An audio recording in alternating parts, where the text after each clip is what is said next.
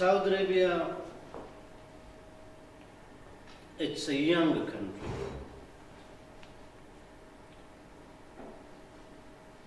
As every countries are created by accident of history, Saudi Arabia is also one of such a country created in alliance by a tribal chief added to it with a Wahhabi ideology and the support of the British imperialism and capital and wealth.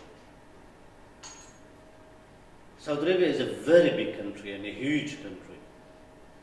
The existing Saudi Arabia, it is about 2,150,000 square kilometers.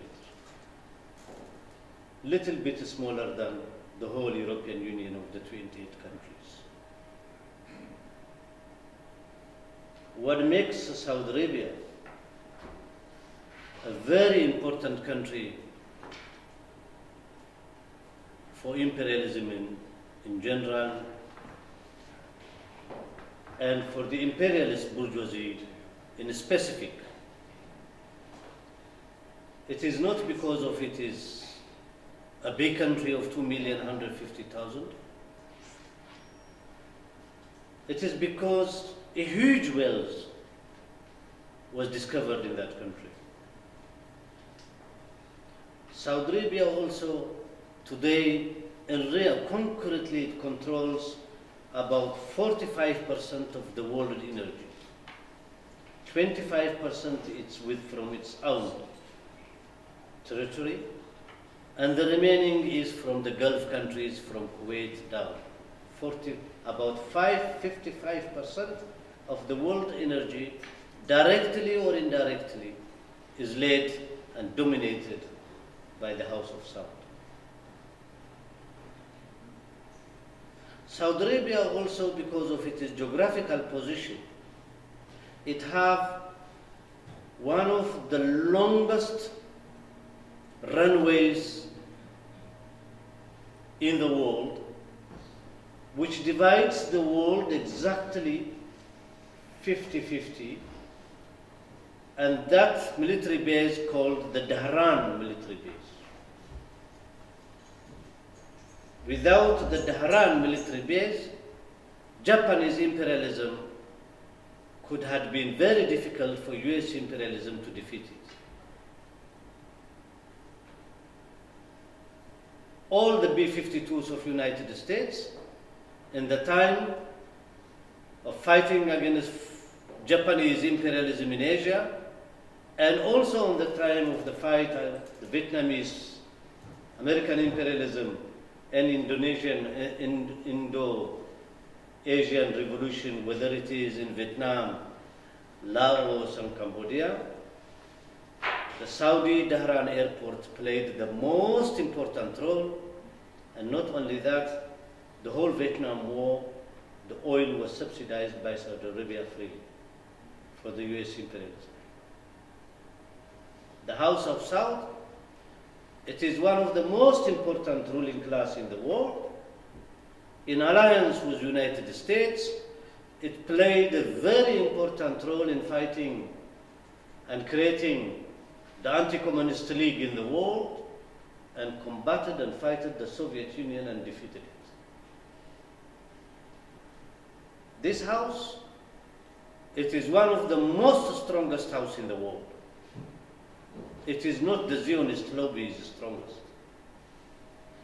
The House of Saud financed Christian Democrat parties in Europe in the 70s and it subsidized and it could survive the two fascist states of Portugal and Spain without Saudi capital, without Saudi money. The Franco regime could not have survived. For all Latin American military juntas, including the Chilean junta of Pinochet, which had been in a very serious crisis economically, without the Saudi capital deposit in their central bank, they could not survive 24 hours. Why I'm giving you all this information? This is the most important family in alliance with imperialism. And today even becoming much stronger and threatening the, and trying to dismantle Russian Federation. When I was in Washington in 1994,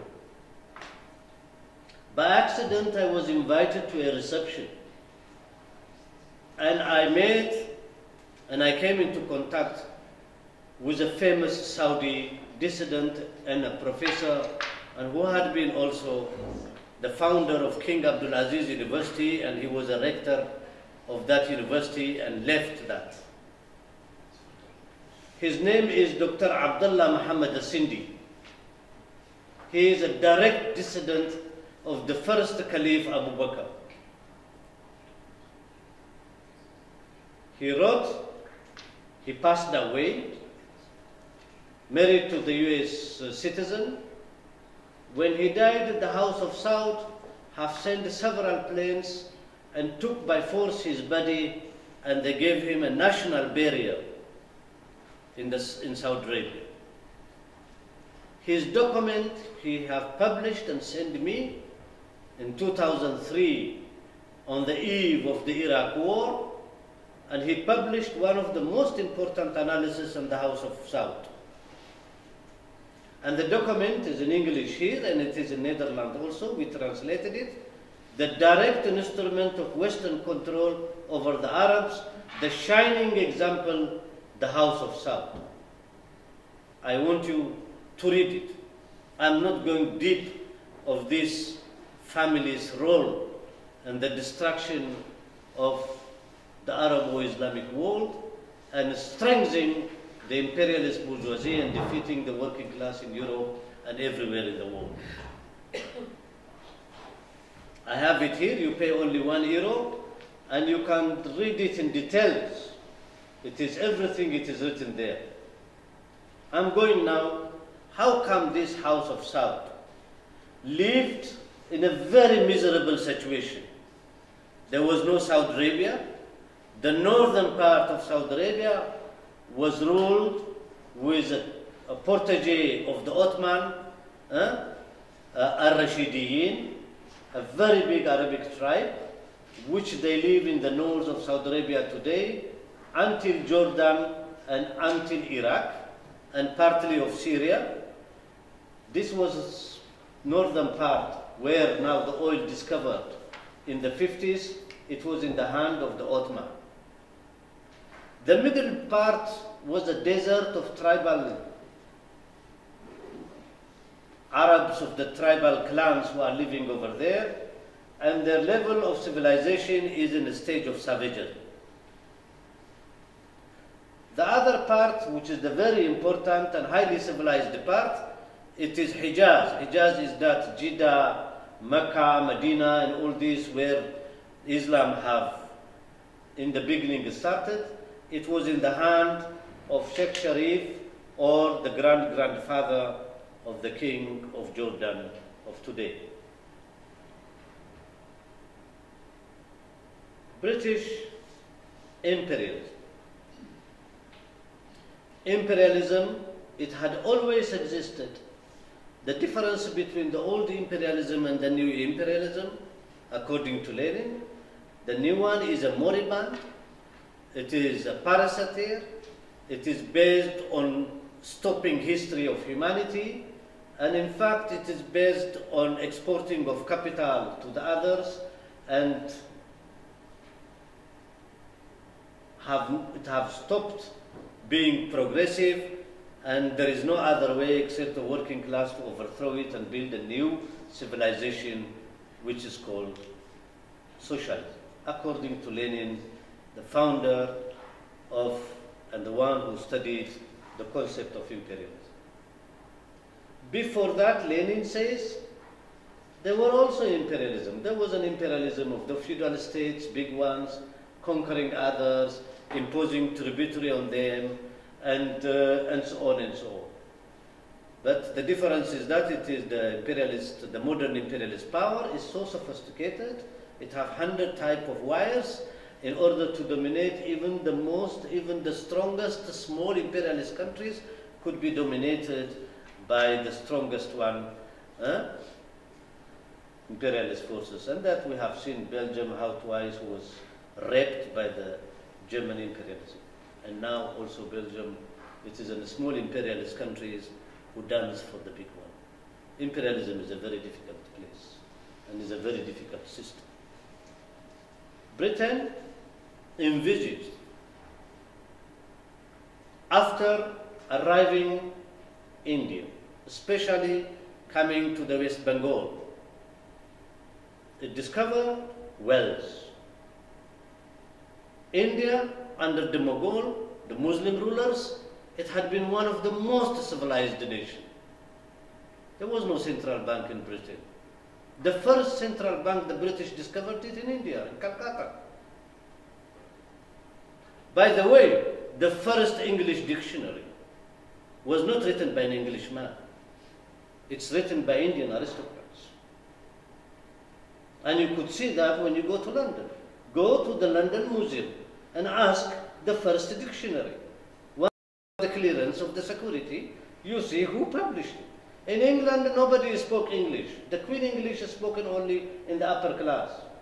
Majority of the British and English spoke pidgin English, not different from Nigeria today.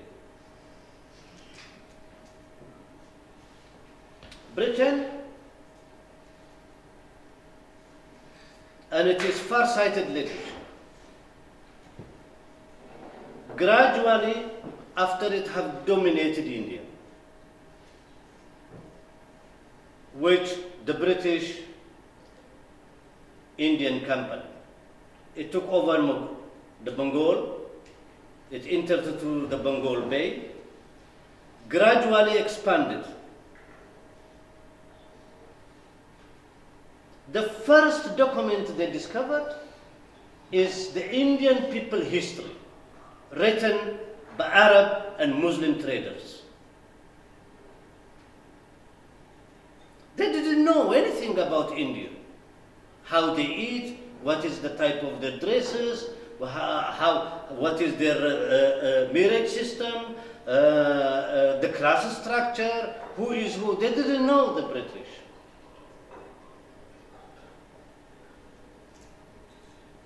What qualitatively the Britain developed is to learn from others.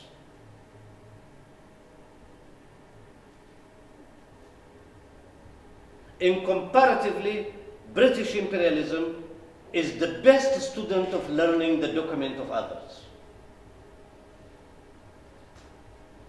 Muslims who used to visit India through trade, they used to have an interview in Basra and through them documented about Indian history and the type of Indian people who are living, whether it is in the south, the Dravidian, or in the north, the Aryans, the, Punjab, the Punjabis, the, the, the uh, different type of nationalities in India, their tradition was written in Arabic.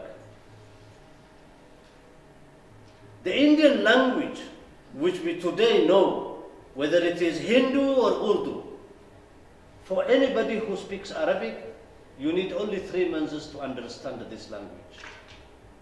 The official language in India before the British arrived, it was Farsi.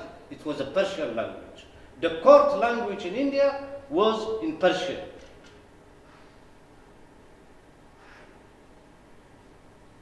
How come an island, very cold,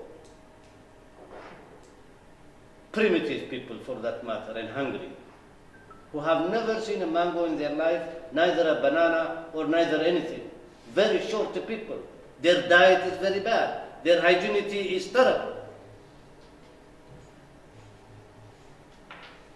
One of the historians debated today how it's possible these short Europeans, who have no even a deep civilization, could manage and colonize others. There is a debate among historians in a very different universities. I was reading the day yesterday in Harvard historical document the historians came to the conclusion because they are poor and they have nothing. That made them aggressive. Also, Eric Hobsbawm agrees on that. Most of Marxist historians, they say, yes, it's possible. When you are aggressive, you want to rob, to loot. Karl Marx, when he writes on the concept of peace of war, he says, war was first than peace in human history. And then he analyzes what ignites war. War is not a picnic. You kill people, you, you steal, you burn villages.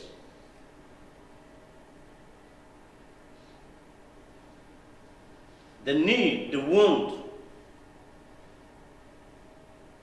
is much higher. And Britain, especially the English ruling class, had one important school. And that school is Ireland. Christianity arrived to that part of the world first to Ireland, not to Great Britain or to UK. Ireland was considered the Oxford and the Mecca of Europe. If we go today now and we make a tour of the best churches of Europe, the Church of Brussels, the best one, or any big cities of Europe, at that moment, before Ireland becoming a colony of the English, all the priests were imported from Ireland. Because Ireland was considered the Oxford of Christian world. Most of Irish priests, they were the top, uh, like the Oxford or the Harvard of today. The Irish history, being an old Christian country and highly sophisticated country, exporting a lot of priests everywhere in the world, particularly in Europe. And a very important, at that moment, is Catholicism and everything was Latin. I'm speaking of the Latin world.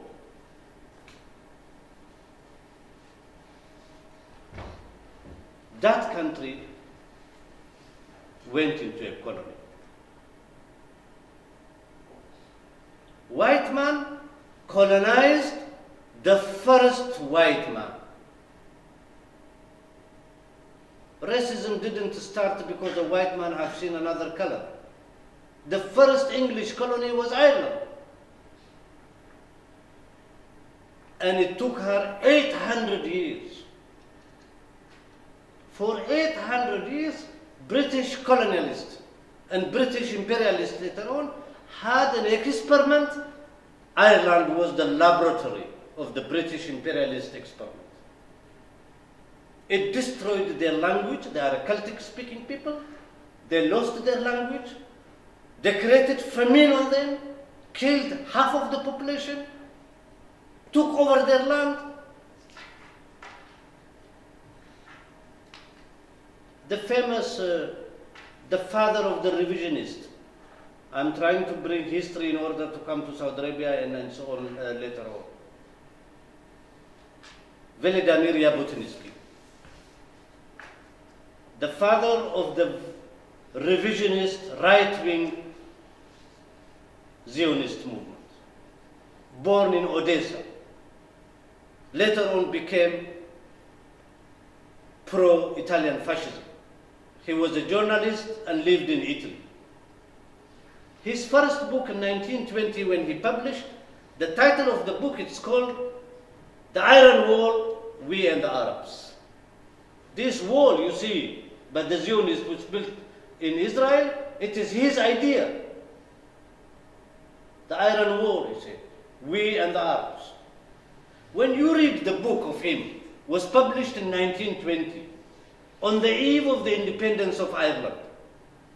80% of the book, he hates the Ireland, the Irish people.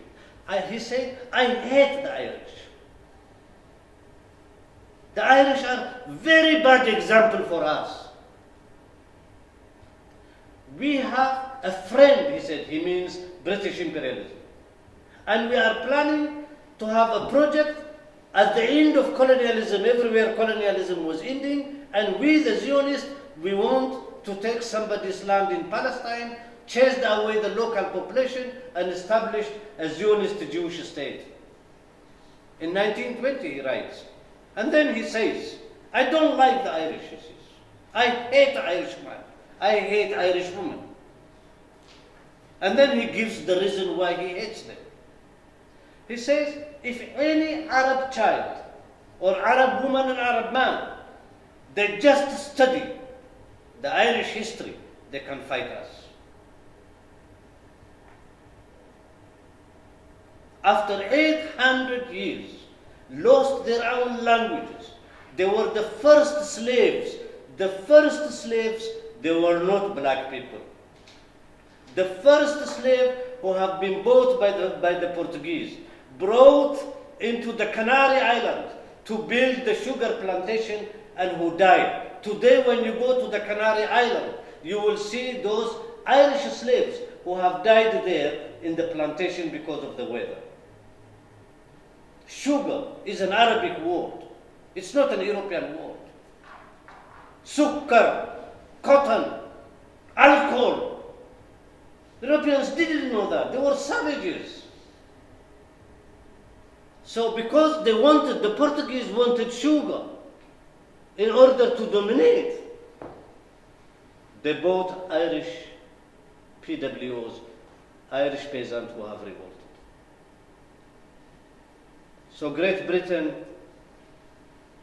it had a laboratory, a very good school how to colonize, very shrewd and very intelligent. They have special schools translating documents in their own languages. Why I'm bringing all this? Britain, after it took over India, in order to defend India from its future competitors, it has to encircle India. It took Bahrain in 1820. Immediately after that, it took over South Yemen, Aden. Immediately after that, after the defeat of Napoleon in Waterloo, she turned against Muhammad Ali, defeated Muhammad Ali of Egypt, and dominated Egypt and brought Khedive Ismail, the son of Muhammad Ali.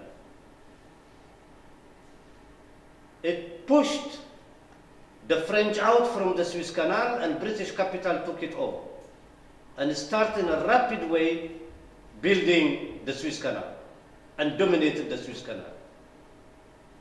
The American Civil War brought a very serious crisis in the textile industry of Great Britain because cotton was stopped in the Civil War and to replace that they have implemented the Egyptian cotton.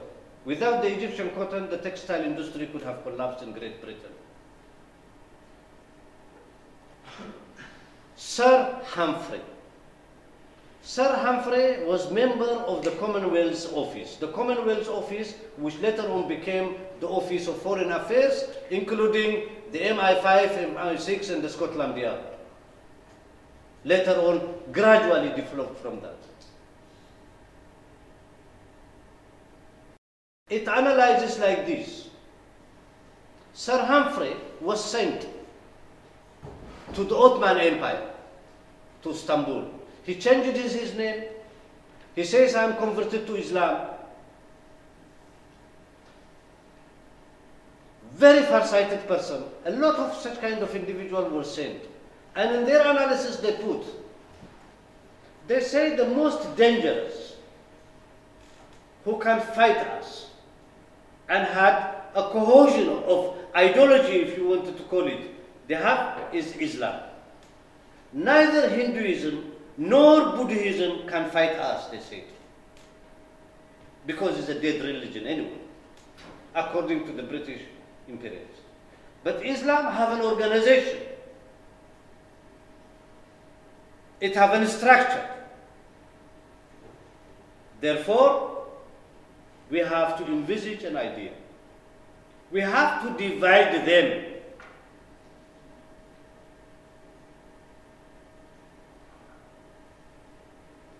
When India was total under control, Britain, in order to understand India, the first translation, if you one time come and visit me in my home, the first, uh, uh, and later on he became director of University of Oxford, and he was a colonial administrator of India.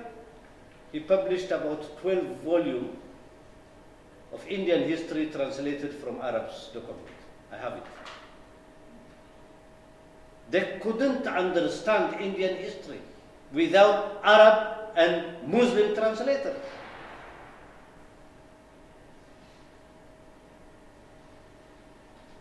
So from the beginning, British imperialism co-opts people. It uses brain.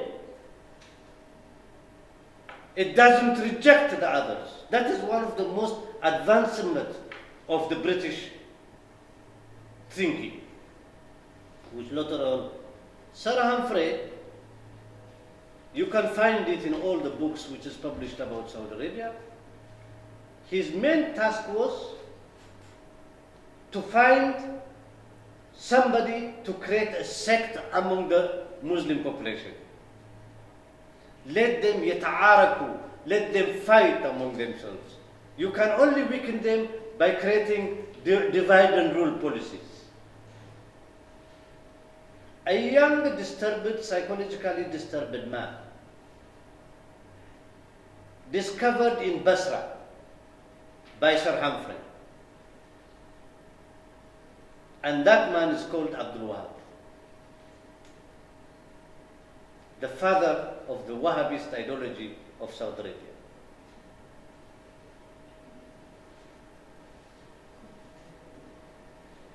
Abdul Wahab if he had existed today and he lived somewhere in Belgium, he will end up in a psychiatric hospital.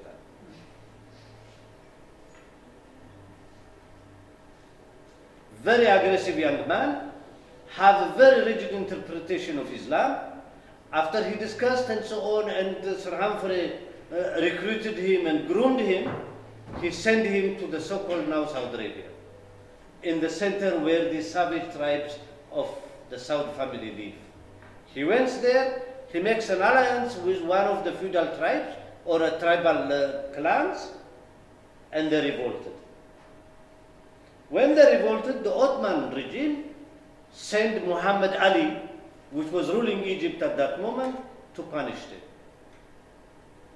Muhammad Ali comes to their area, Najd, he occupies them, he destroys their village, he captures them, he captures Abdul Wahab and also the grand-grandfather of the Saud family. They bring them to Istanbul, they hang them and put them for 72 hours. Huh? Normally Muslims, they can only 24 hours you have to hang. They put them for 72 hours. They say these are virus, very dangerous. And finally they say they should not be buried on the ground. They cut them into pieces and throw them in the Marmara Sea. That is the way the father of Wahhabism and the grandparents of the Saud family. The Saud family was defeated. They went as refugees to Kuwait and they start writing to the British uh, colonial uh, uh, secretary who is in, uh, in Bahrain. Finally, gradually, Great Britain, through the Bahraini office, start giving them some weapon and money. At the end, by 1923, they succeeded and they unified Saudi Arabia. 2,150,000 square kilometer. What makes Saudi Arabia is very important. If it had no oil, and there was no oil in that part of the world, this House of Saud will not have survived. It have been overthrown long time ago as the Imam of Yemen or as the ruling class of Libya. very poor, no big agricultural area, majority of the people the population who live in a very poor conditions, and they were living from alms of the Muslims. Rich Muslim communities outside, particularly in, in, in, in, in, in Gujarat and all and all, these rich Muslims, they used to send them because huh, that they are responsible for Hajj and Medina and so and so on, and they get some money and they. So if there was no oil in that part of the world, Saudi Arabia will not have been important. Saudi Arabia unified by King Abdul Aziz of Saud. Feudal, backward, big air.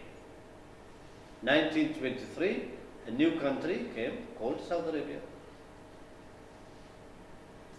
Great Britain was looking as more concentrated to take over Baghdad and so on, the oil areas there, but she didn't look around Saudi Arabia. And finally, British intelligence who have been converted into Islam, he says Philby. Later on, he became also an agent of the Americans, and the Americans, by accident, in the 50s, discovered the biggest reserve of oil, Bonanza. That changed qualitatively the position of Saudi Arabia in the world. It is not because she is 2 million uh, square kilometer. It's not because it is Hajj or the Muslim shrines are there.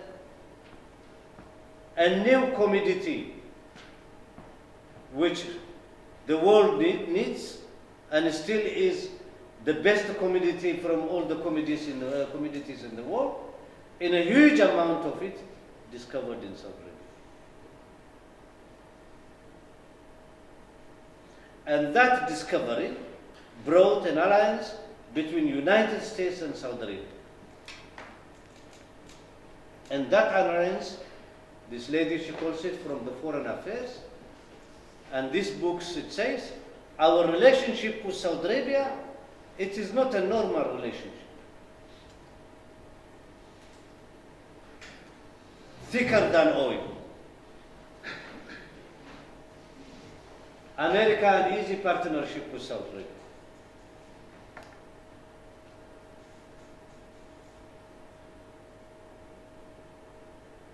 Saudi Arabia is the most important pillar of American imperialism.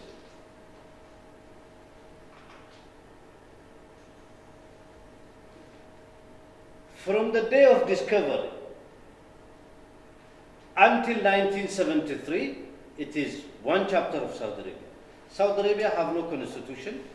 It's not a nation state. It is the people who live there belong to the House of Saud.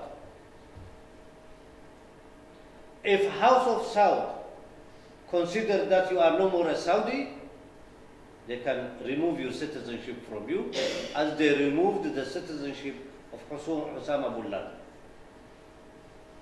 In Arabic it's called tabi'i. You are not a citizen. You belong to them. If doesn't satisfy you, you can leave. The place belongs to us, as it's the name it calls Saudi Arabia.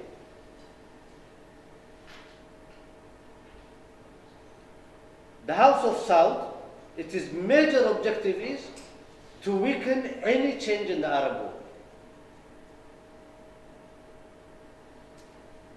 For the House of Saud, secularism, Arab nationalism, Arab greater market, Arab unity is dangerous. They have to fight it by all the means. For the Saud ruling family, the Zionist state Israel is not dangerous. On the contrary, the Zionist state Israel, they subsidize to that state. Saudi Arabia also is the boss of all feudal states around, who have also oil, which they call them the Gulf Council, led by the hegemonist state of Saudi Arabia.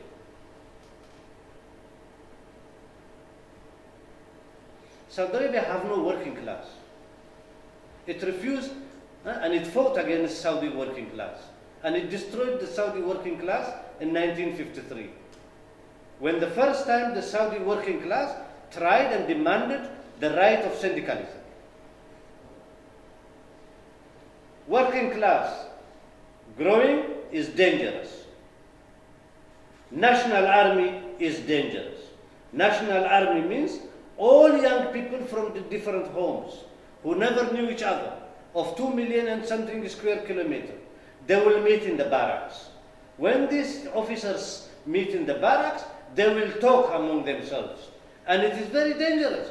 These people, they can be infected by virus and they might develop patriotism, they might develop nationalism, they might see that the wealth of the nation is utilized by one family and so on, and then they can overthrow the government, as it happened in Libya, as it happened in Syria, as it happened everywhere, as it happened in Egypt in 1952. The free officers overthrew the feudal state of King Farouk and brought a new state.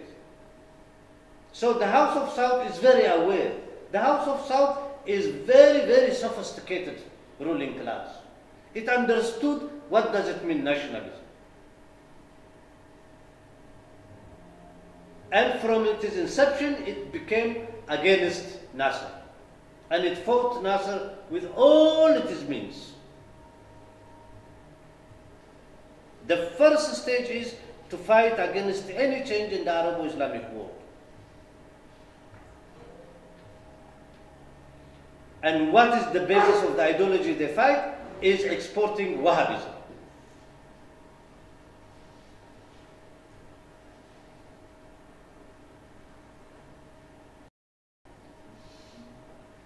From 1952 until 1973, there was no huge amount of wealth in the hand of the Saudis or the Arabs. Petrol was three, three dollar in a barrel in 1973. By 1973, for the first time, as Kissinger says in, his, in this book, for the first time in the history of the globe, a huge amount of wealth was transformed from the richest imperialist countries to the Arab ruling class. That's what Kissinger says. And that huge amount of wealth which came into the Arab hand not only transformed the Arab world, it transformed the world position of the Saudi Arabia. Today, more than 7 trillion dollars is invested United States. I want you to look to this film, 11 September, of that fat American guy who have made the film. And I want to ask you one thing. You remember that man? Yes. In that film, he put one important anecdote. All American airmen, all American air territory was closed when 11 September happened. Senior Bush, his plane was on the air. American uh, Air Force forced him and they told him, we will shoot you if you don't land. But all Saudis who had been in, in the United States, they were all, their planes was allowed to fly. To see the interlinking between American imperialism and the House of Saudi. Then the Bush administration, in his memo now, which it have published, published it, it says that Bush could not sleep. The whole FBI, the whole CIA, they were busy to remove the Saudi tourists who have been in Colorado, most important Saudi princes. They were moved secretly. The only planes on American territory was moving was a Saudi plane. Our media doesn't tell us this, huh?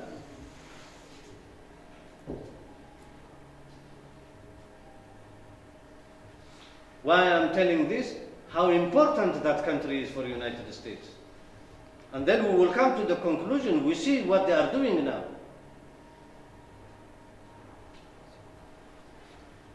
Saudi Arabia is also a founder of the Anti-Communist League. The Anti-Communist League consists old fascist, the Moon sect of South Korea, Dalai Lama, the Tibetan Dalai Lama,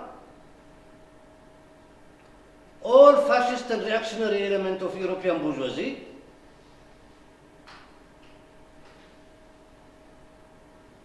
and all the dictators, military dictators of Latin America, to fight three things simultaneously. One, to fight the Soviet Union and the Warsaw Pact, to fight any progressive movement in Latin America, and to fight the Palestinian cause and any democratic and revolutionary Arab movement.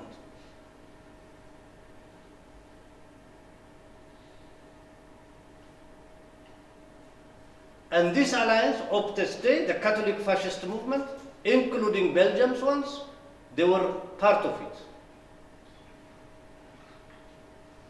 To give you an illustration, the role of Saudi Arabia money through the Islamic uh, Rabita al-Islamiyya uh, in, the, in, the, in, in the end of 1968 until 71 for support of Cristiana Democratica in Italy.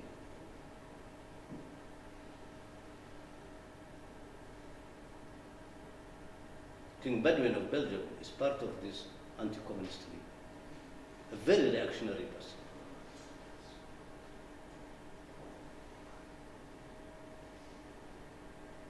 Automatically after the days of Nasser,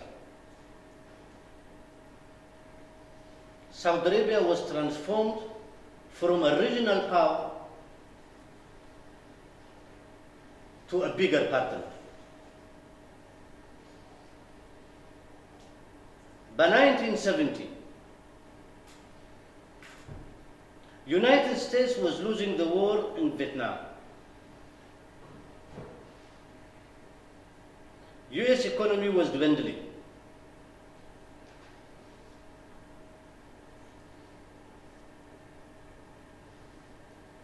Nixon came to power.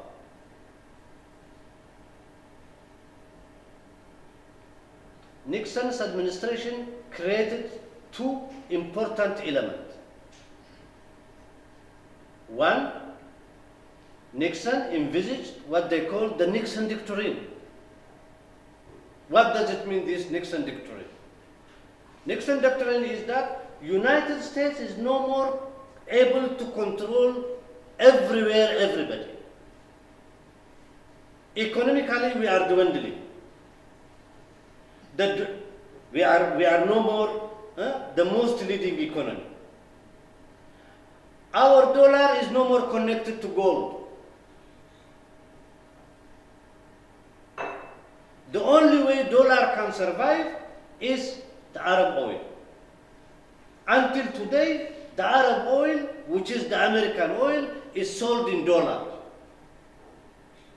Any nation in the world who wants to import oil, she must have a reserve of dollar. If we remember in 2003, the eve of the war against Iraq, in one of the speeches Saddam Hussein did, he says from now onward we will sell oil in euro. What makes euro strong? It's not because euro economically is strong, because of that statement of Saddam. which is, means the beginning of the end of the American imperialist demise in the region. Why I'm explaining how Saudi Arabia and the Gulf is important for the US imperialism.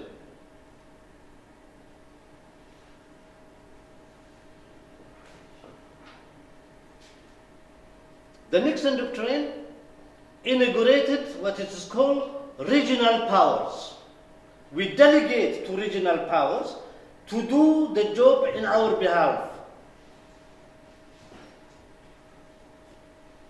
And which are these regional powers? They have to do the work what United States wants is one, Turkey.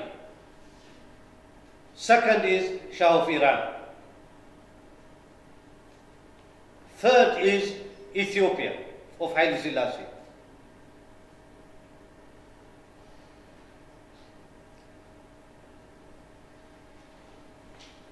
After the downfall of the Shah,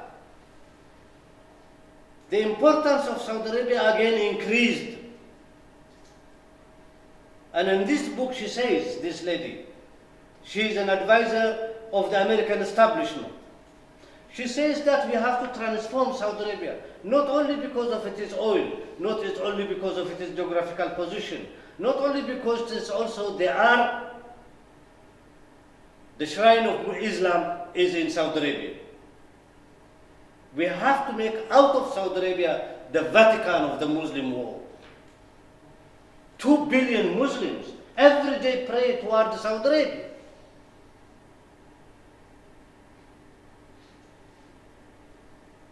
So Saudi Arabia must dominate this in alliance with Malaysia and all, all this. They created the biggest organization today after the UN exists and after the African Union, it is the Islamic Council Congress, which its office is in Saudi Arabia, Riyadh. The Secretary General is a Malaysian. Malaysian. What is decided in the Islamic Council will be applicable and will be forced by all Muslim countries.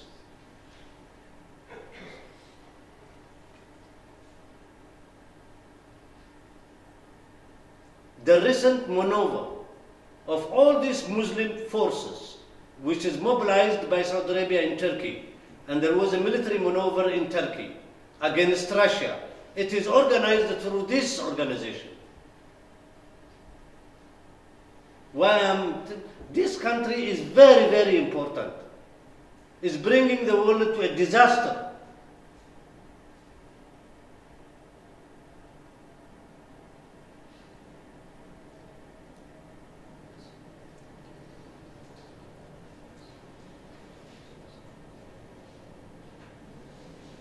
It subsidized the United States when United States in a very serious crisis, when Great Britain is in a very serious crisis, when we look the pillars of relationship between Saudi Arabia and the Gulf countries and United States and Great Britain is based on three important pillars. One, most of the money of these countries are deposited in New York and in London. That made London the international capital. It's not because the English have capital. It is the Arab capital is there. If you really observe the behavior of Tony Blair and all other uh, prime ministers who are including Cameron, when they have a very serious budgetary crisis and money crisis, do you think they run to Br Brussels?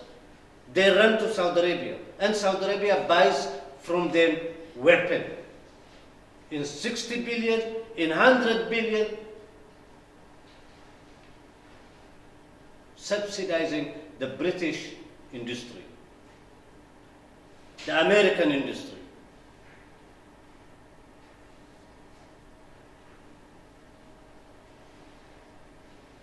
Third important pillar. There are about 7 million guest workers in Arabia, from Saudi Arabia and the whole Gulf countries. From this, 3,782,000 are West Europeans and Americans who earn 72 times more than what they earn in their country. The media doesn't talk about Do you know how many Belgians are working in that part of the world? Where is the Belgian planes when Sabena became Fayed? Where are the pilots? Where are the hostess? Where they are eating their bread? This is the people who want to tell they don't want Arabs and so on and Muslims to come to this country. At, at, at least Bart De Wever was honest when he said that I like the Saudis and I will kiss their asses because they bring $3 billion to Antwerp.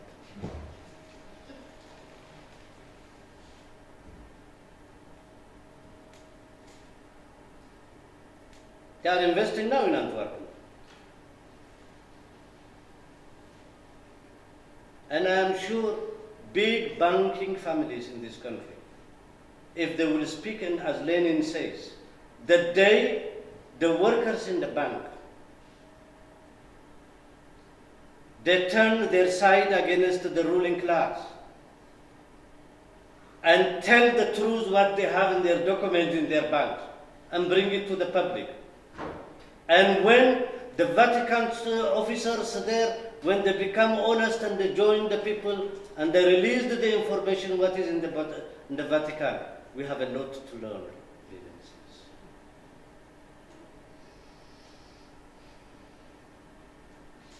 These banks, they know a lot, but they don't tell us anything.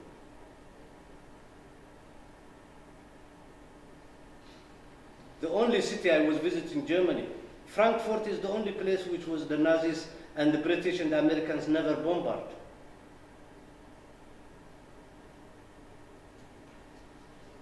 There was no bombardment in Frankfurt.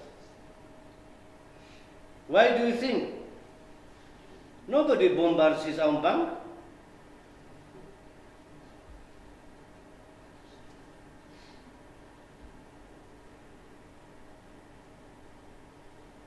Saudi invested in the last, since 1980 until today, 128 billion euro in exporting and translating and subsidizing Wahhabist ideology. If you walk from Nord and you pass Gare Centrale and you go to Gare Midi, there is more document of Wahhabism translated in the bookshops here than in Saudi Arabia. These liars who have stolen our children from our hand and sent them to Syria to die the shops here, full, translated in French and all languages of Wahhabi document. It is sold publicly. They cannot insult our intelligence. Our children who died in Syria, they are victims of this system. Their parents, they came from a working class family who had built and worked in this country.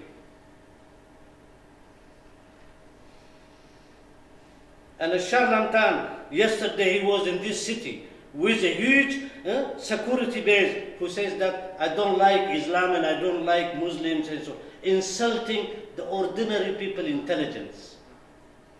Europeans are stupid. I'm sure if I do this speech in Africa, millions will listen to me. They go to school and they become stupid. I have never seen a system of education which systematically makes people stupid. They are expert on that. Diplomas of them, I call it, don't understand, don't think, be stupid. That is the title of their diplomas. Their education system is rubbish.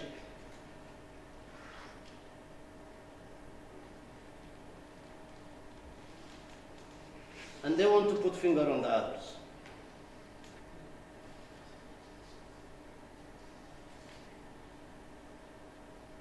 When you look the panorama how they build Saudi Arabia and how House, House of Saudi build it, internationally what they are doing.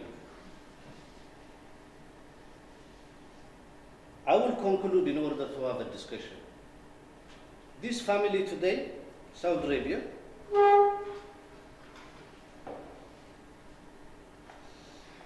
It destroyed the whole country. Shame on us. A whole country of 30 something million people. Yemen. Did we hear about Yemen?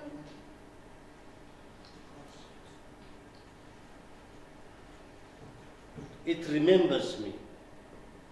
I used to say, how is possible? The Nazis could do that job.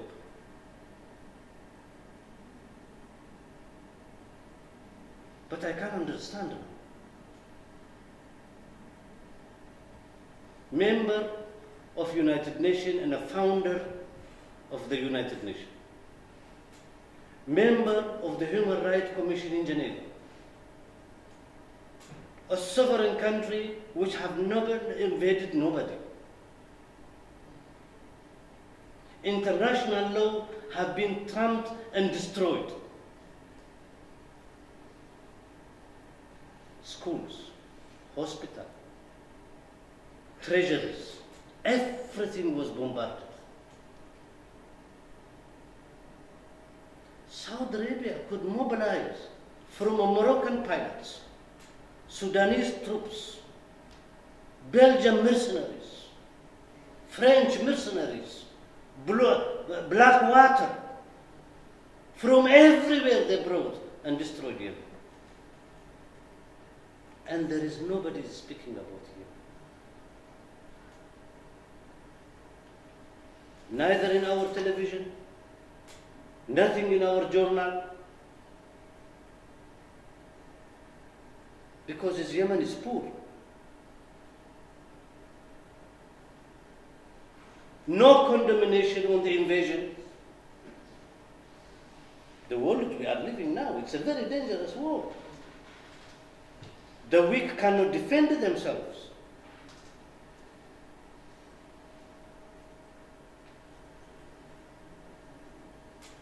Dimitrov, in one of his long articles when he wrote, he wrote on the Abyssinian crisis, my country. An old country, founder of the League of Nations, was raped openly, publicly.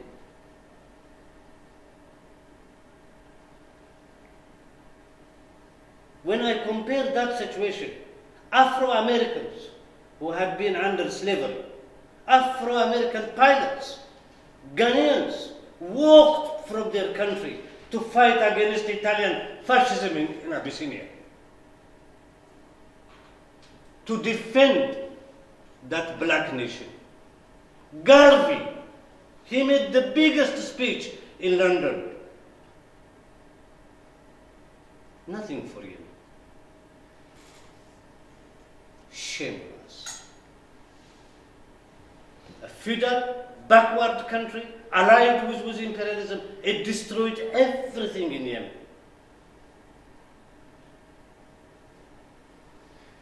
Why they don't talk? Because Saudi Arabia is important. If you open your mouth against Saudi Arabia, then they will punish you.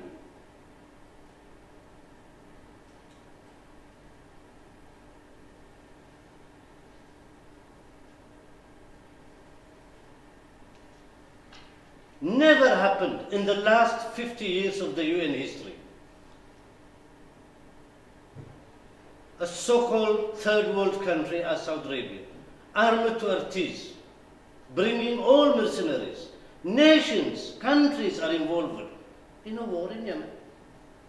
I can't understand.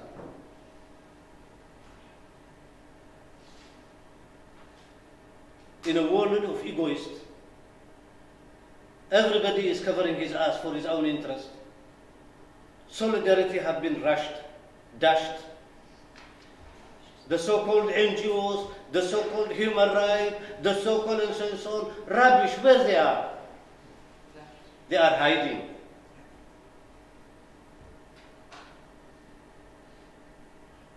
A poor country. Yesterday, they bombarded one of the historical places of Yemen. They destroyed it. Nobody speaks. This is, this is the power of Saudi.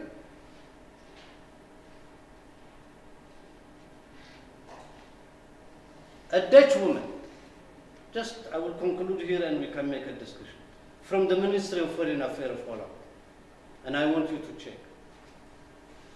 according to Sheikh, Yemen is destroyed for three reasons.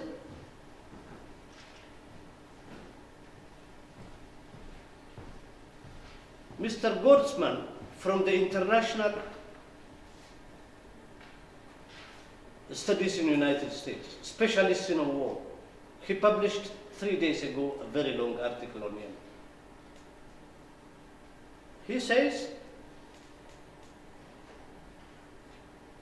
the war in Yemen is a war between Iran and Saudi Arabia. And Saudi Arabia wants to put a double pressure on Iran. One, to make it very difficult for the conservative and within Iran there will be an election and that it is those, the liberal wing, the Khatami, the Rouhani, and all this group to win in Iran. Which they won now. Rafsanjani is a winner. The Rafsanjani, who owns 35% of Iranian economy, all pistaches in his hand. Big wells of him is in, in Dubai.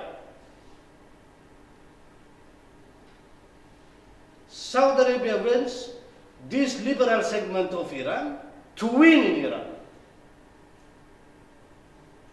He says, Mr. Cordesman. And the war in Yemen, it is a war bilwakala, with agent, to show to the Iranians, you cannot come. We can also establish a new pipeline. Now, Saudis are building a new pipeline. From the north, one to bring the pipeline to the Red Sea, another one to bring it into the Gulf of Aden, to bypass the Hormuz.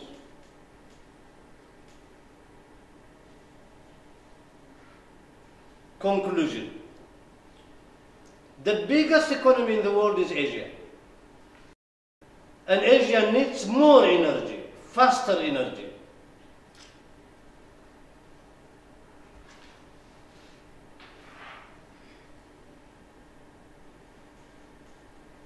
Saudi investment, Qatari investment in China is bigger than the investment of Germany.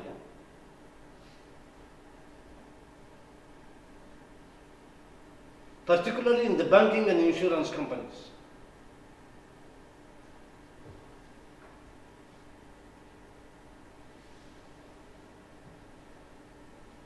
The Saudis today are competing to opposition to be a big regional powers. To conclude, Obama signed last year and re-Christianized the new ideology of United States and brought it back the doctrine of Nixon. Regional powers, they will be delegated from now onward to do the job in our behalf.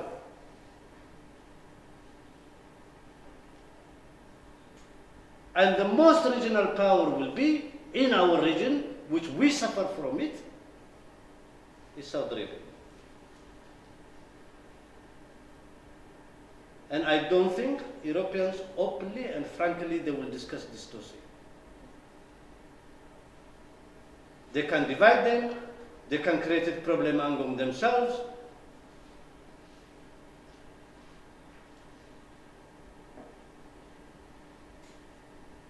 major conclusion. How is possible an external intelligence service recruits our young people while we are watching it?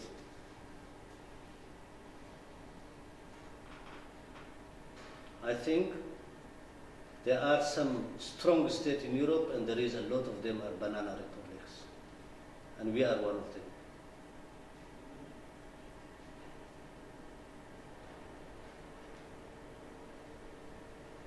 And I'm sure my speech now will reach to the Saudi establishment.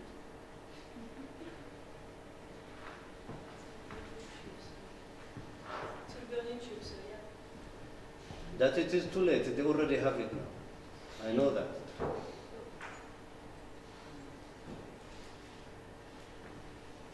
So what we are going to do about it? how we are going to raise the consciousness about this issue among our working people and ordinary people, honest people who live in this country. The charlatan, racist, and reactionary intelligentsia in the imperialist countries and in our country. They put sand in our eyes. In the name of fighting terrorism, they wanted to fight Islam. In the name of fighting Islam, they are strengthening Wahhabism. In the name of fighting of this technique, they are creating division among our societies. They are creating division among us to hate each other.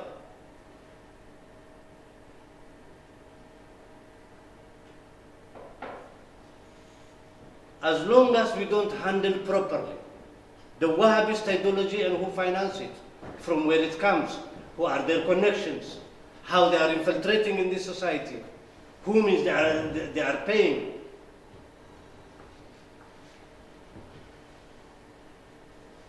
We will never solve this problem. The big arm of Saudi Arabia is here. And Saudi Arabia is a big power. They threaten Russia, they threaten China, They have influence everywhere. They have subsidized political parties, the Noor and all and all and all and all parties, Salafi parties everywhere where there is Muslims majority or minority. They are from Nigeria up and so on, down they are in the Philippines in Mindanao.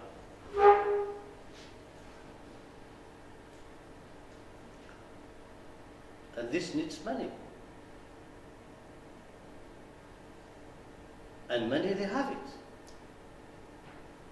They use that wealth for destruction. That is Saudi Whether you like them, you don't like them, these are not checks. Don't look to their bibs. These are real business people who know what they are doing they are not different. Al Capone, when they asked him in the 40s, he said a very good statement. They said, Do you know that what you are doing when they are asking him in the Congress, in the, when there was an inquiry on him? He said, Yes, I know. The difference is I do it publicly and openly, but you do it secretly. We are the same.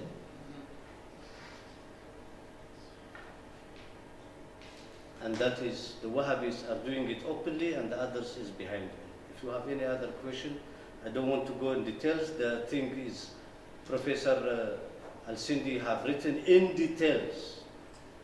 In Saudi Arabia, there is no other way to fight against this regime. And they tried at one time and they failed, and he says that that is why, why there is a support for Bin Laden, because religion was there, and he explains in details. You can read it there. Uh, I will not go in details over that. If you have any other question, I will answer. It's a very important country, important in the sense two billion people are looking to her every day. I give you an example. How they brought the Sudanese troops in Yemen. They just went to the Sudanese, they said, if you don't bring your troops to fight in Yemen, next year in the Hajj, we will not allow you to bring a ship.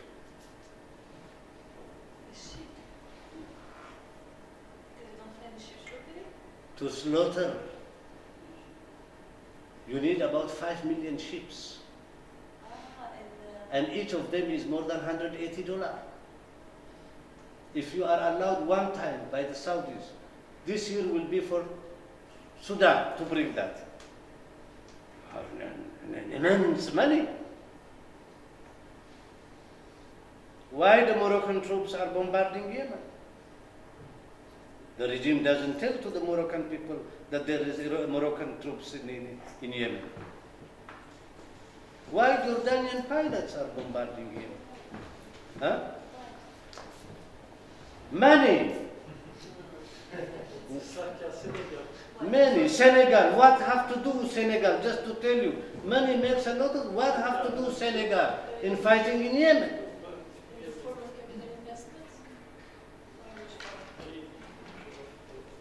They have too much money to pay.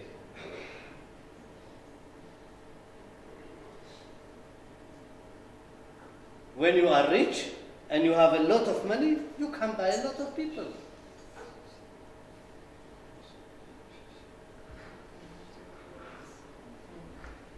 The packaging, the food industry, all this goes to the mercenaries.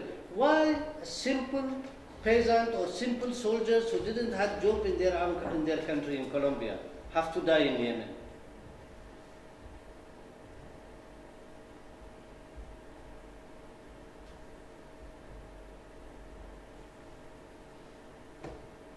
If Saudi Arabia didn't have the money, nobody will go there.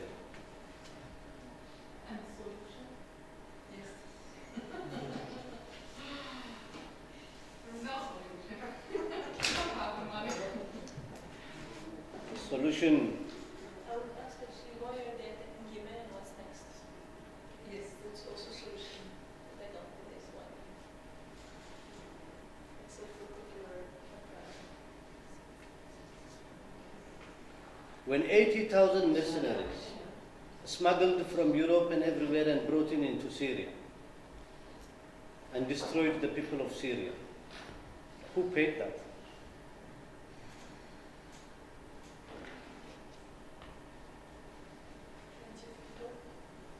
All the Belgians who left from here, they didn't fly from their mother home by flying by themselves.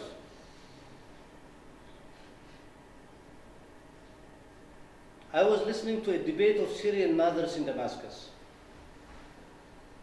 They said they sent to us al-Huthala, their own gangsters. They could not even they could not even educate them, they said.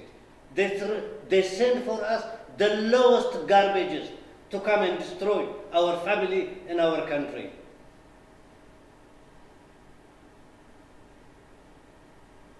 It was not our war, they said. We didn't fought among ourselves.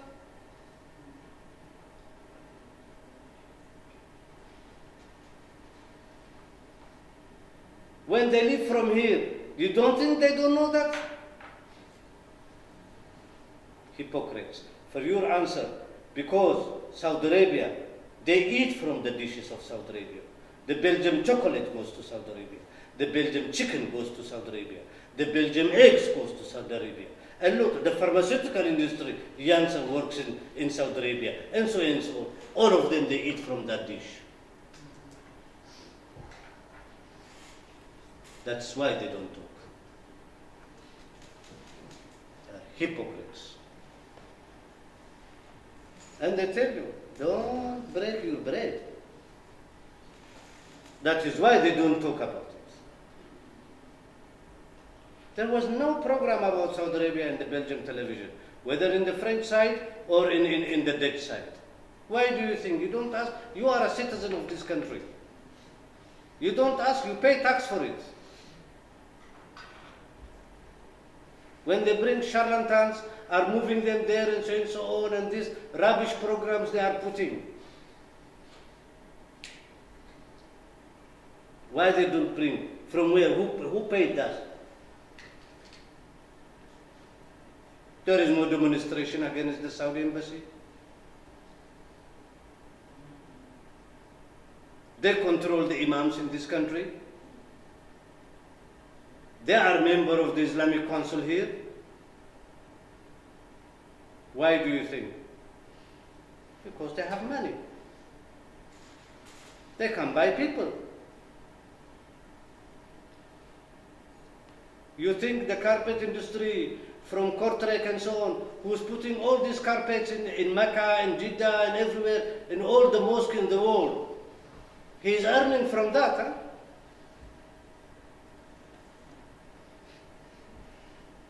And Yemen have no money. And we, the people of Horn of Africa, we are suffering. We are living in a very bad neighborhood where there is a lot of gangsters, and every day they are beating us, and so on. We lose one time our eye, one leg, one time our nose, and so and so on. And then the, the others, they came, the European Union, yes, we'll bring for you bandage because you bleed too much and so and so. And, and, and they don't stop beating us. If you have any other question, that is Saudi Arabia. As long as we don't discuss on Saudi Arabia clearly, we don't demonstrate against them, we don't make uh, raise the consciousness among the people.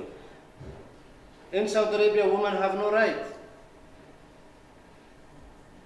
There is a slave trade in Saudi Arabia.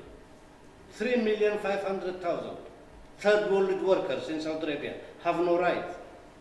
They have no right for syndicalism, they have no right uh, for pension, they have no right at all. They languish in the prisons.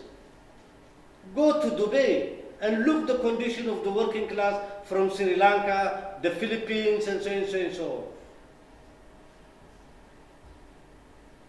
We don't hear a lot about them.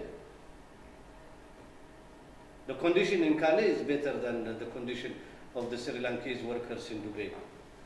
Be my guest, go and see it.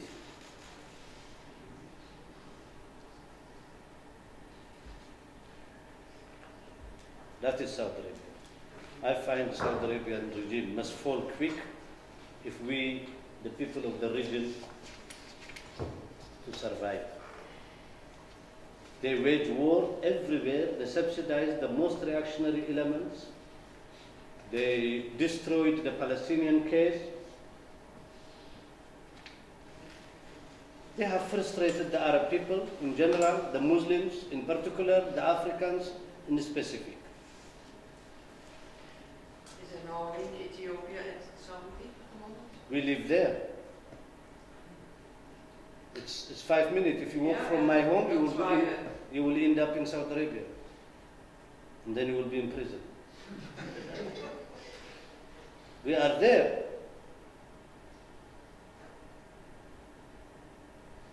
If Saudi Arabia doesn't want stability in our region, she creates problem. You have the money. And nobody is protesting. Nobody says anything a cut a cut to Saudi Arabia. If I will go now to the Ministry of Foreign Affairs and I say Saudi Arabia did to us, they will just listen to me. Yes, we will note it, we will note it, they say, but they will never say. The Saudis, they will just keep the Belgium embassy within, within five minutes. Huh? Pack up, go, go. They will say, no, no, we will stay, we are wrong, we are wrong. Who feeds who? You must be very honest. The Saudis, they, they don't take arms from you. There is no 11-11 action for them. There, there is no child adopting children from Saudi Arabia, which you see all these black Ethiopian kids who are adopted in Belgium. You, you don't need an, an, an, an amnesty for Saudi Arabia, they will slap you.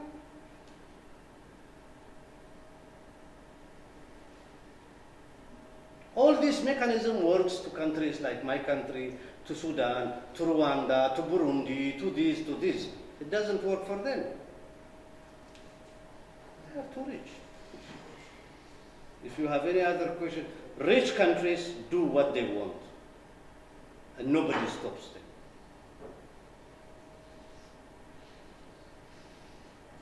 Are The- there, yes? are there any forces within Saudi Arabia that might bring change? Why they have to change? If I'm an intellectual, Saudi intellectual, I don't work. I go to the bank and I get a loan without any collateral damage. They ask you your name and your tribe. And then they can give you five million. Go to the bank here and I'll tell them my tribe is this from the, from this tribe of Belgium and give me this amount of money. Do you think you will get 10 euro? Why this man then? And he, he will revolt. He is driving four-wheel drive Lexus.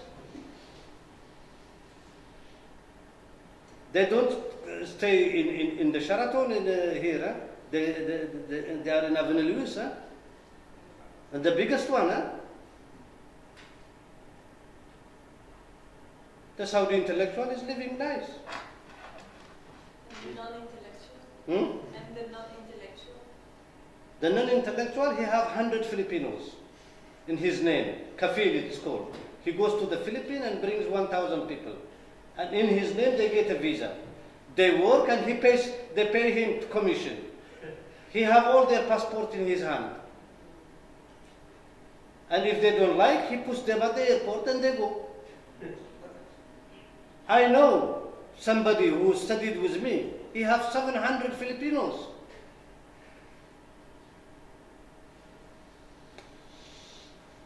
Kafil, there is no law in that country. There is no migration law.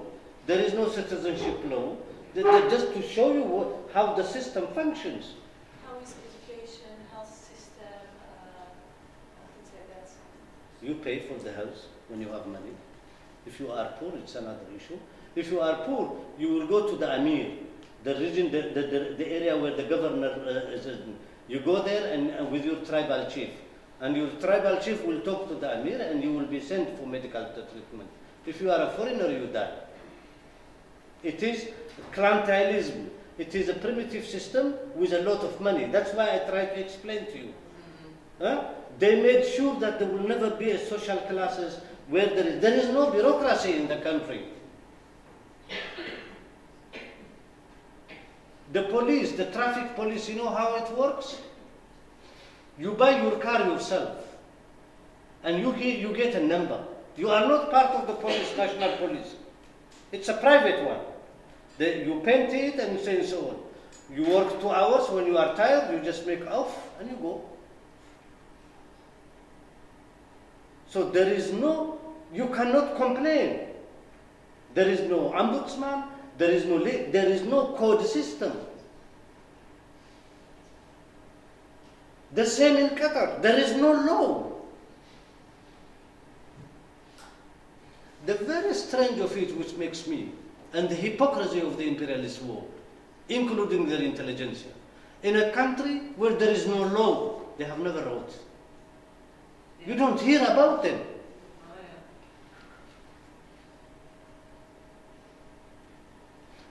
The, the pilots in the Qatar Airways are paid on the basis of contract of the CEO of Belgium.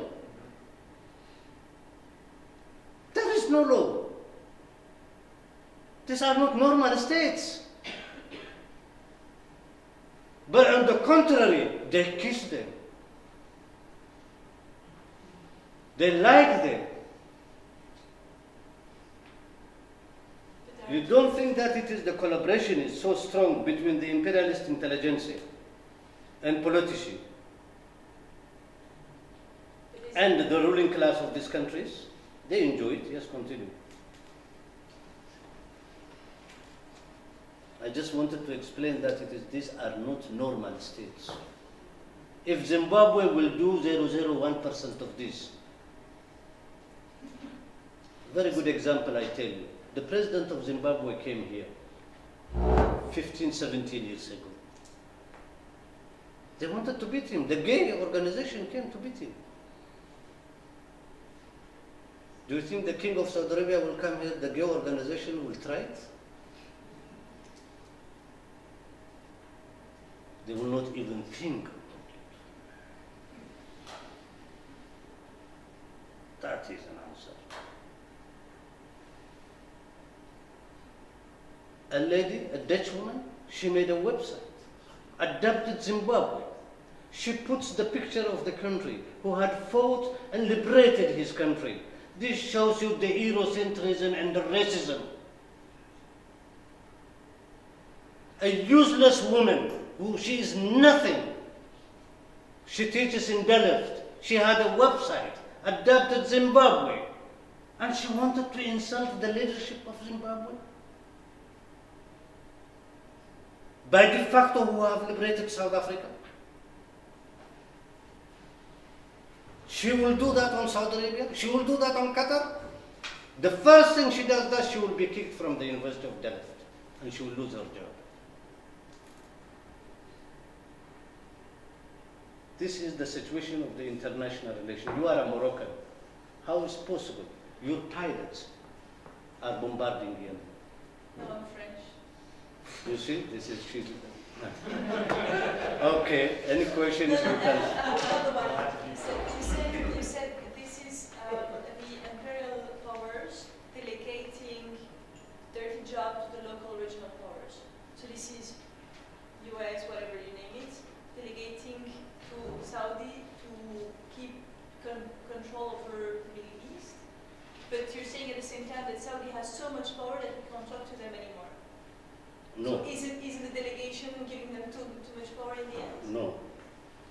Saudi Arabia have a task to fulfill. It have also its our interest. Her interest is integrated with United States interest.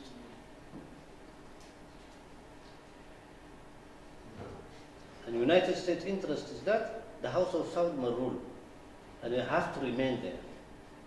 Any change in the House of Saud's idea, it's a change against American imperialism and the beginning of the end of the Zionist state.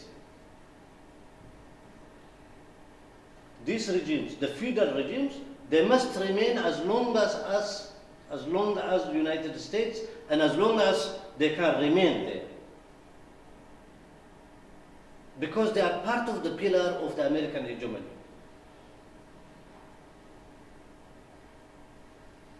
Secondly, the Moroccan state. The Moroccan state is not a normal state.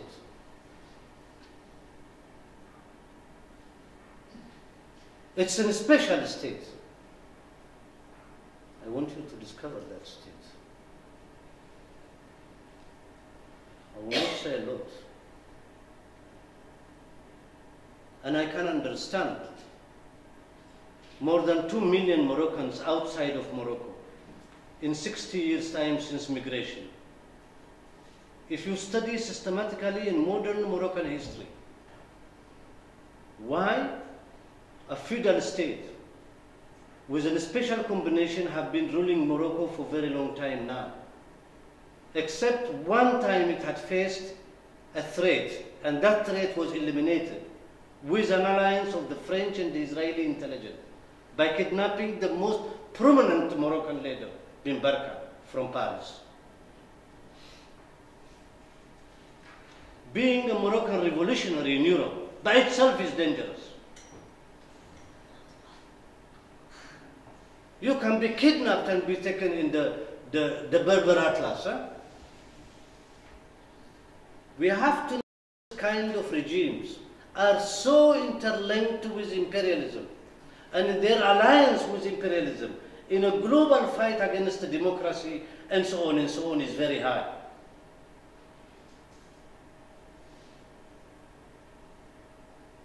The myth of these regimes they are created for. That is very important to understand the political myth. The political myth of the Moroccan regime, they say they are Alawiyin, correct or not? What does it mean? Explain it. Explain to these white people who doesn't know anything. Explain to them what does it mean in concrete when you use that word.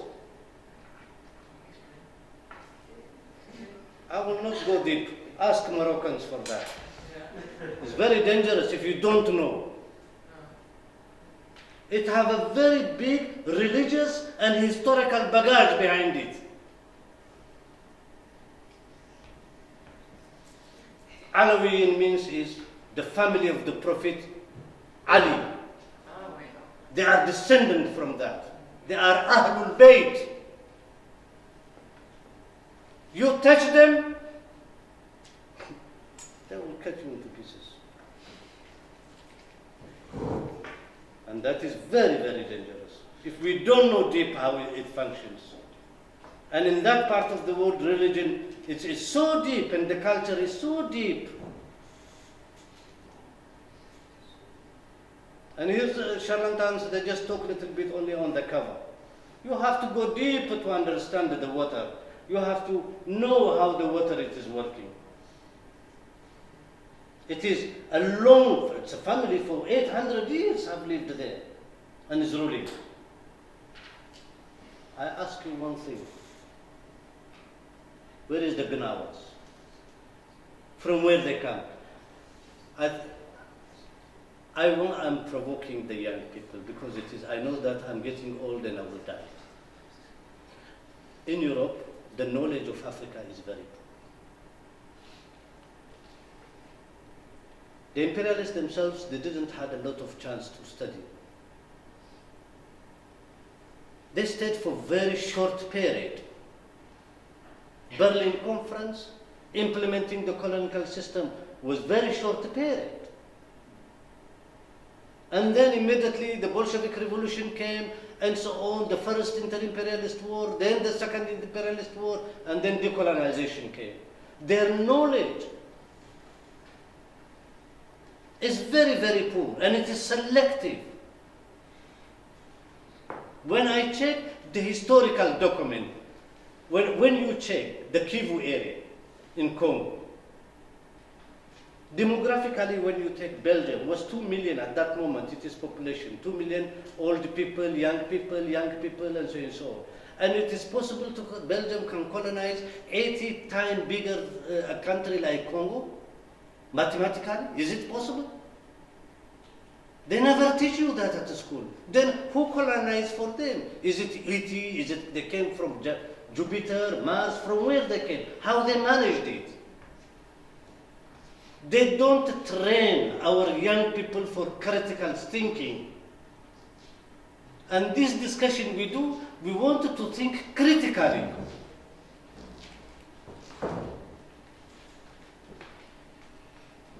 They just teach them very softly.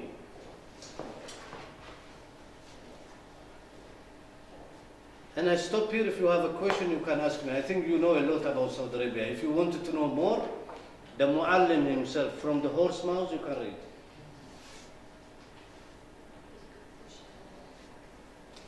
She says it's thicker than oil, our relation. Don't play with it.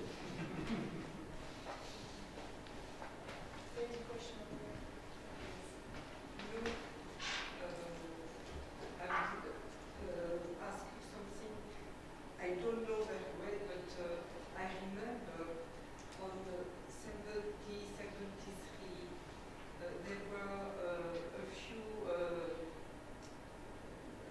Arabs, nationalist Arabs, and uh, in uh, Vienna for the petrol.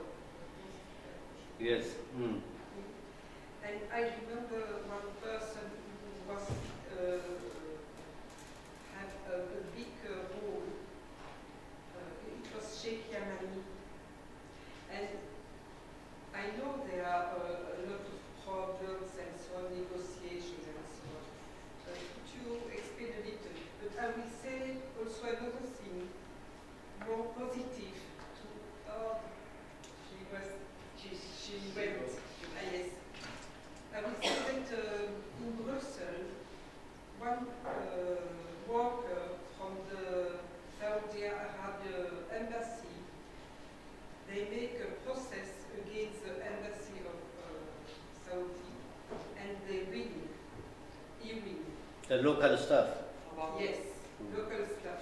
uh, it was a big, big battle, you know, and uh, he, he win and he um, have all his rights, and after all the workers of the Gulf embassies made the same, you know, it is a, a, a big victory. But also the trade unions of Belgium made inquiries and process against uh, the Gulf states, Qatar, in a slavery situation in uh, Philippines.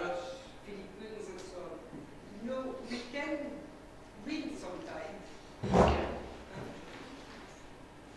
They are, they are not. Uh, It's true. First of all, Philippines is a rich country with a poor population. Belgium is a poor country with a rich population.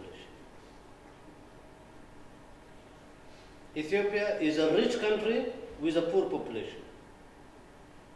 It is the 25th richest country according to the world report. And the last poorest country in the world, and the thinnest people are Ethiopians.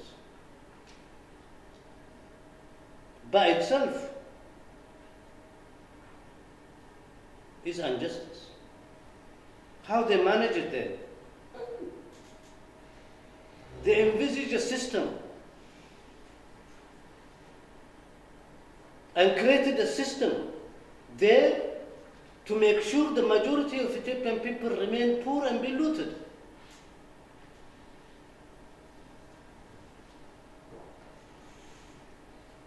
And anything who wants to change there, or any change there, it is also a beginning of a change in a global sense. What we see today in Syria, in the Arab world, it is what we are seeing on the Chinese civil war. People are surprised about the wars now. What happened on the Chinese? 100 million Chinese are killed. There is no people who suffered like the Chinese. Take the Boxer War. One, one but that Boxer War. How many Chinese perished? I was in Shanghai. I was privileged that it is when I was appointed in, in China.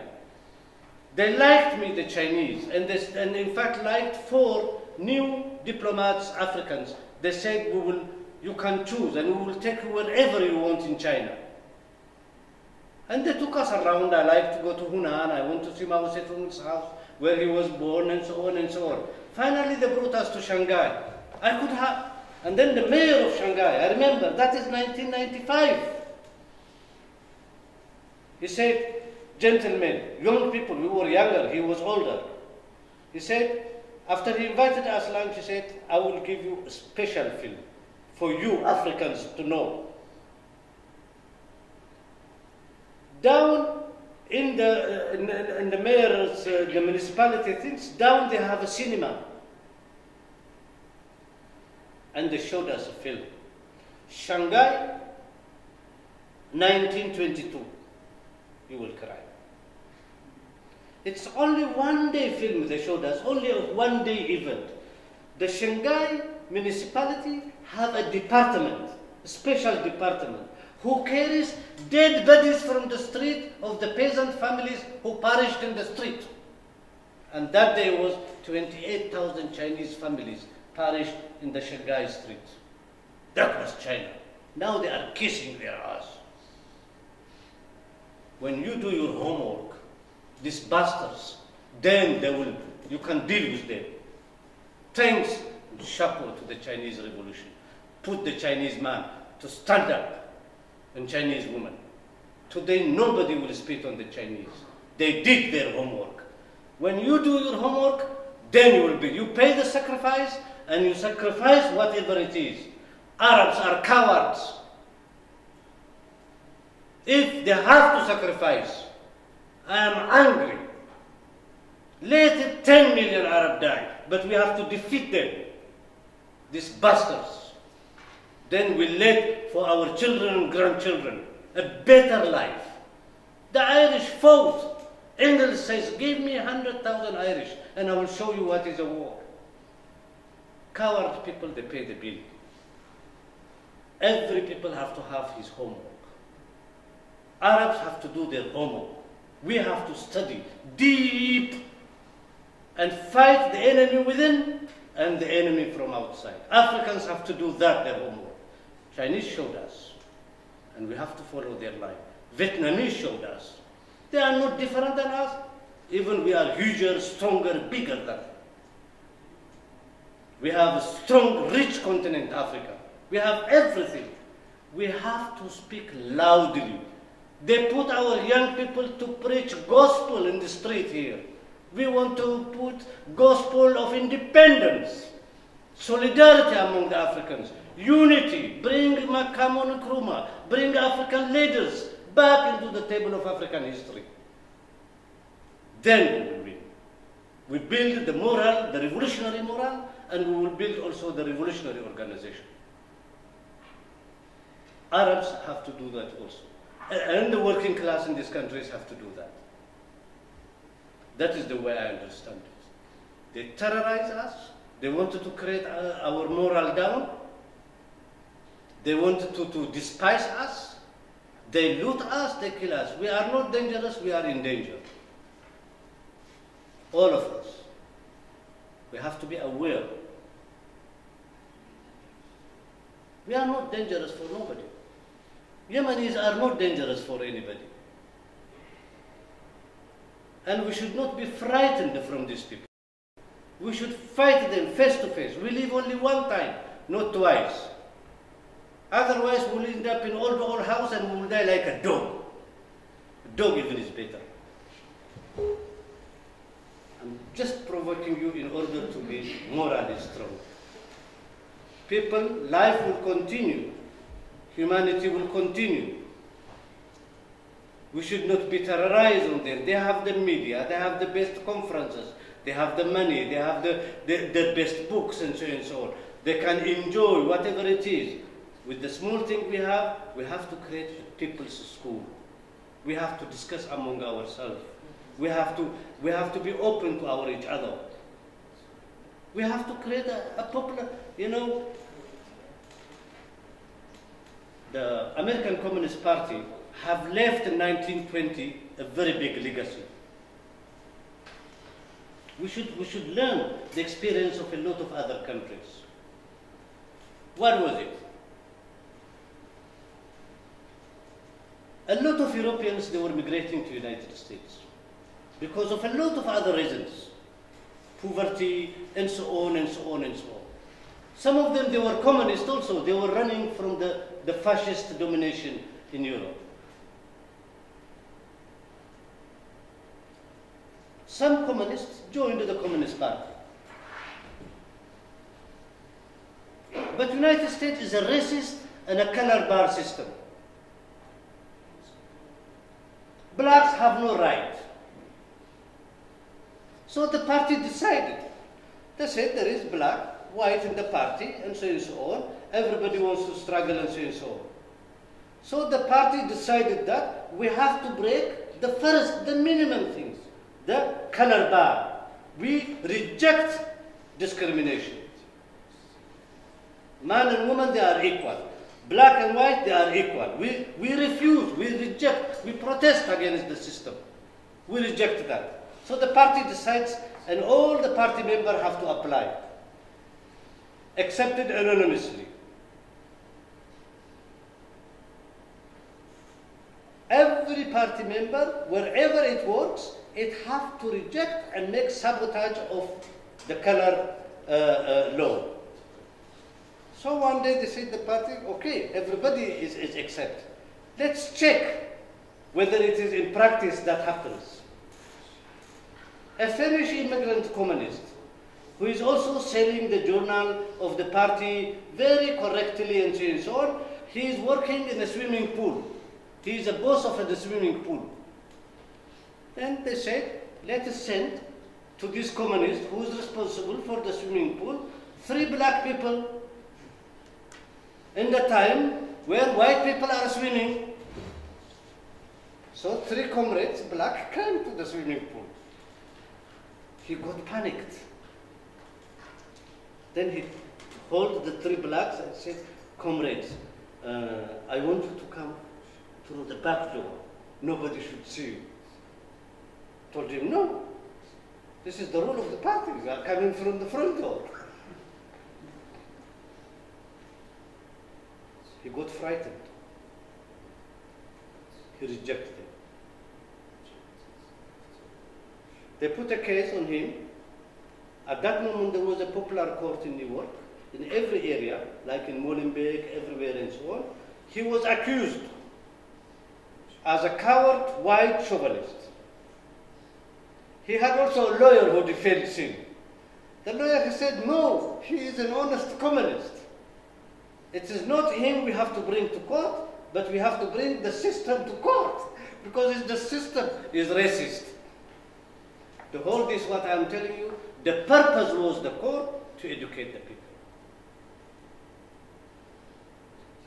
We have to create our own school to educate our people. Otherwise, we cannot learn and we will not get information. They blocked us, they block our children, they, they frustrated us. And we should not get frightened. We are not insulting anybody. We are not looting anybody. We are not going to pocket somebody's pocket and, uh, and so on. We are not harming anything. We are not endangering anybody. We are in danger. And the older I get, I feel to talk louder and to say cut. Anyway, as the Somali proverb says, you live only one time. leave a legacy. Let us leave a legacy. Let's debate more. Let's invite our young people and so on. And and now then explain to them what is. I don't think our young people will like the system of Saudi Arabia. I don't think the young people who are with the Muslim background in this country who are Belgians, they really know about Saudi Arabia. What's happening in Saudi Arabia. They themselves, they are victims. And the system here uses it doubly. It confused our young people. I talk to them. And we should fight racism. Whatever it is, uh, uh, color, uh, color of it. Whether it is covered by uh, a new package, we have to unmask it. And we have to say, we have to discuss about Saudi Arabia. Saudi Arabia spends more money in creating virus in the mind of the young people than in supporting the Palestinians. There is no Palestinian support. Here I was reading, which irritates me a lot, this new book. I didn't sleep.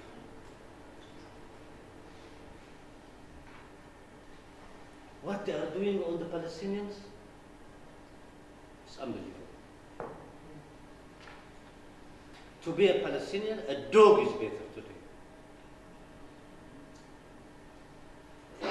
Such brave people who have stood, the way that the prisons, the concentration camp.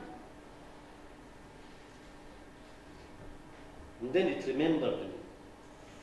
Jabotinsky says, I, we will accept one day a Palestinian can be the head of the Israeli state, provided Palestinians become minority.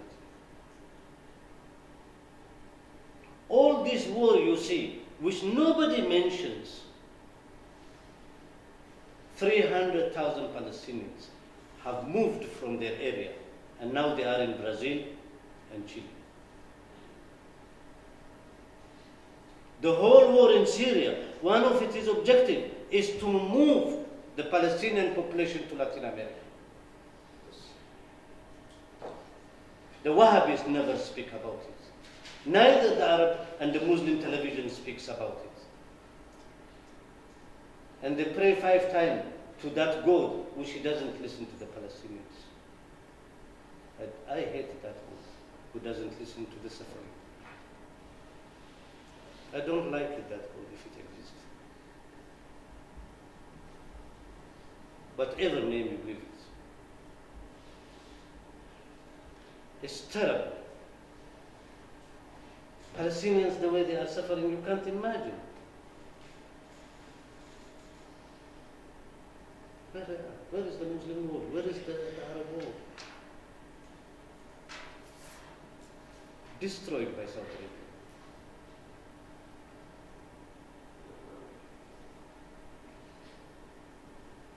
If you have any question, I will answer. I'm Palestinian issue really irritates me a lot. Their intelligentsia are dying. One by one. Sadness.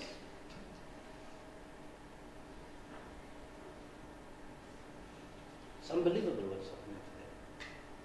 Without any support from, from, I mean, if you destroy Yemen like this,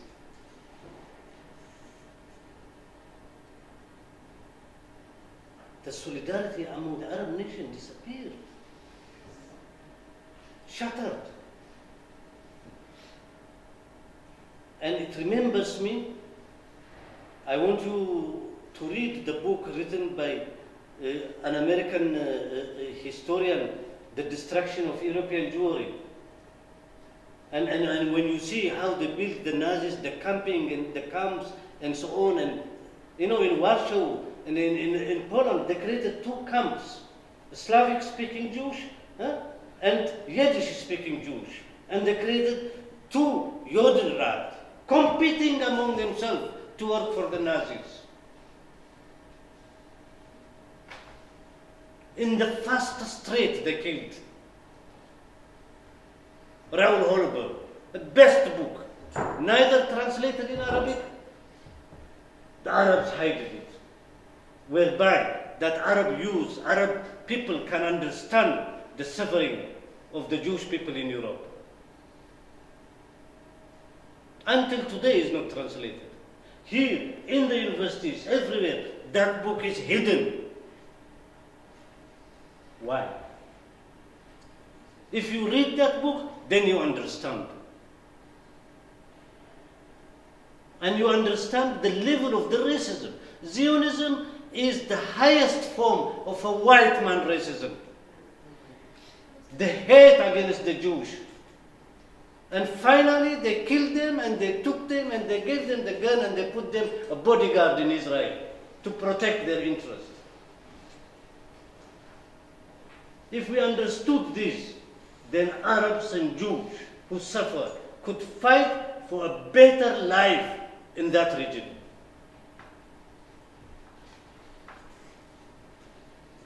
They blocked everybody. Today in Israel, the best book critic on Zionism is published in Israel by Israeli citizens. None of it is transla- translated in Arabic. You don't find those books here. So we have a lot of tasks to do. Young people, please systematically study, and I wish you all the best, and discuss honestly, and you will see a lot. The more I understand that it is, the deeper I go, I find that the system here makes the people not to understand anything. And control everybody like that. And for those who wanted to read about Saudi Arabia, the document is here. It is one euro. Read it and discuss and give it to somebody who doesn't read it also, and, and so on, and distribute it as much as possible.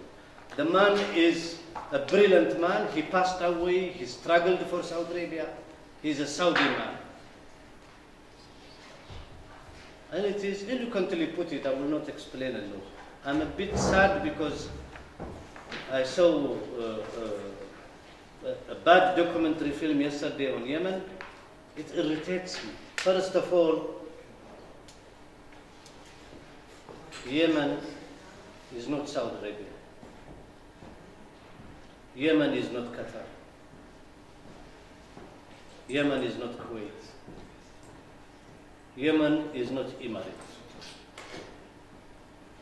These countries are countries of savages, inhabited by savage people who have no any civilization. Savage in a savagery state of civilization. Yemen is a highly civilized country. Yemen is one of the highly civilized country in the world history.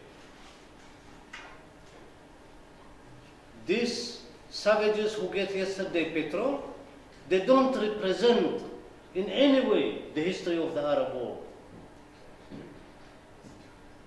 Imperialism with these savages wants systematically to destroy the most civilized nation of the Arab world. One is Yemen, another is Syria, another is Iraq, and another is Egypt. If you destroy these civilized nations, who could be the mother of the Arab nations, and they could also play an important role in the African continent and in the world continent, in the world, in the fight against imperialism and establishing a new world order. That is why they are fighting against the most civilized countries. They have to divide them, they have to create a division among them, they have to bomb them and so and so on. They don't bomb Qatar. Qatar is one million population, savage, illiterate people who yesterday were eating a locust, who never had even a proper food in their own life. They don't know even a manner of a table. And they destroyed others. To destroy these civilized countries means is a destruction of the African and the Arab people. The whole African continent will suffer with the destruction of Egypt. The others is irrelevant. Algeria is the, the, the better one. The others are irrelevant. They don't even, ولا يودوا ولا يجيبوا. They don't take or they don't bring anything. They are just a peon of the imperialists. And when I see as an African, in the African relationship and so on, we need the most civilized nations to build an alliance and to get out from the clutch of the imperialists, to create an alliance with other forces in the war. do you think Qatar can make an alliance? They don't even know how to dress their own trousers properly. These savages.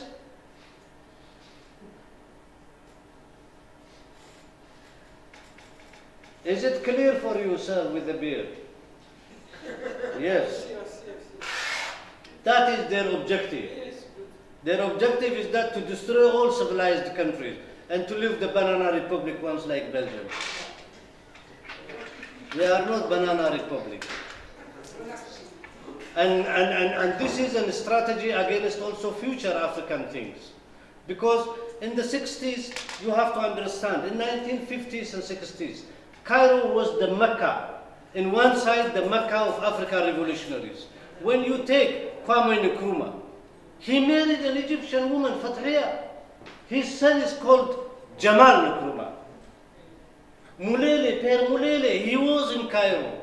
The Cairo radio was established, and so on. Third World Alliances was there. Imperialism was irritated at that moment.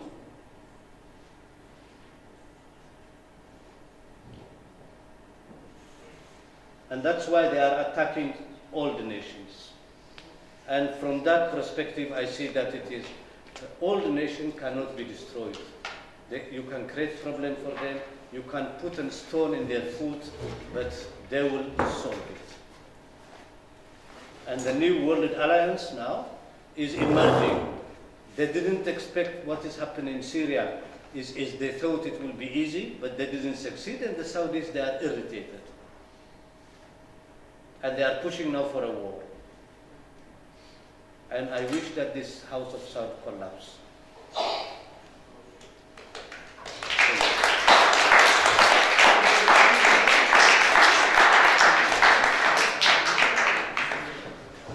really like to give this lecture in Africa.